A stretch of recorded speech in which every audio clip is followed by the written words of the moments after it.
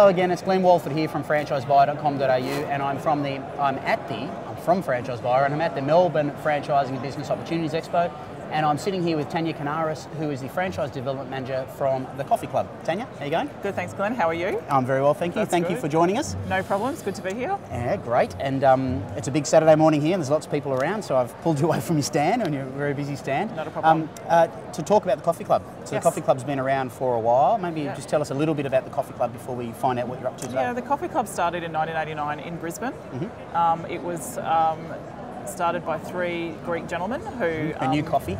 who knew coffee Mm-hmm. and knew that we didn't have an offering in Brisbane to buy coffee, particularly um, late at night. Yes. And um, the story goes they um, were walking around Brisbane CBD looking for a coffee, couldn't find one, so decided that they would make their own coffee shop At that moment. at that moment. So that's where it all started. Yeah, wow, okay, And then um, they worked quite hard for about t- two years to try and get the brand right, and Mm-hmm. then eventually franchised the first store, which is still there today at Eagle Street here in, Yep, I know that- C- I know that CBD. spot. Yeah, yeah, yeah. So, Okay.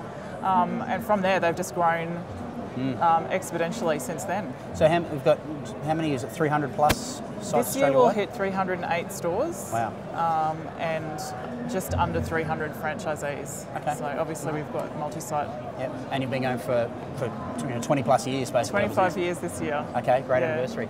Hey, um, um, sorry, I just got distracted there by. Uh, Thank you. Um, sorry about that. Um, okay, so the we talked earlier along about um, about the evolution of the brand and the business overall. Yep. So, so what, what are you up to? I mean, a brand obviously goes through phases, especially when you're 25 years. Yep. So, what, what's happening at the Coffee Club right now? We are going through another um, phase. I think it's probably phase 3 Mm-hmm. um, which is really exciting because if you um, look look retrospectively at where the brand has come from, you'll see the evolution and the pattern in that process. Yeah, yeah, so. yeah. Um, to be part, to be at the coffee club working and in the role that I am while this is going on is really quite exciting. Mm. So, we're going to in the next couple of years, we're going to be changing our logo slightly, um, becoming a little bit more trendy, a Mm. little bit more um, A bit more boutique or something? or yeah, sort of- well, yeah. you know, as boutiquey as a franchise, a national Yeah, franchise it's a challenge. It's a balance, it- balance in brand consistency and everything, isn't yeah, it? Of course. exactly. So, you know, we keep um, pushing the boundaries with our menu offerings Mm-hmm. um, so that they're, they can compete with the boutique Mm. um, independent cafes. Yes.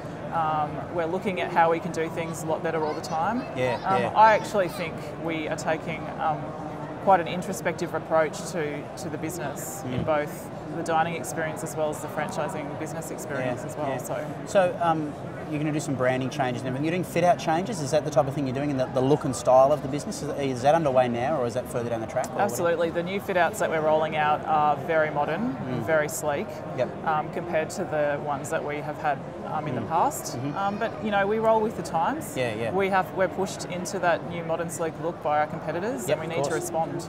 And You know, otherwise we'll get left behind. at times you lead the way, and they lead the way. It's it's it's the way it is. That's isn't right. Yeah. And you know, ultimately we want to lead the way the entire Yeah, yeah. time. But Yeah. you know, reality probably won't Yeah, and, and it's always a challenge, isn't it, at the franchise Yeah. level with franchisees who've invested money into the actual business they've got and then they're re- revitalising it and redoing it and refreshing it all the time. Yeah, so but I think that's a good selling point for us because Absolutely. if you're going to invest um, the money that um, is required for our franchise model, you want to know that we are proactive in Mm. Yeah. um, keeping up with the times. Otherwise, you're just buying something that's only got a short shelf life. yeah, and I know you've got you have an enormous brand awareness out there, don't you, from a Yeah. consumer level in the marketplace. Yep, absolutely. And Yeah. that's that's why we're here at this expo. It's to Yeah. try and you know remind people that um, we're here to, we're here to stay you- and You're we're here to stay and you're here to grow. exactly. Okay, great. Yeah. Tanya Kanaris from the Coffee Club, thanks very much for joining us. Thank you so Thank you. much. Thanks. Pleasure. Uh, it's Glenn Walford again from franchisebuyer.com.au, and we'll catch you again soon.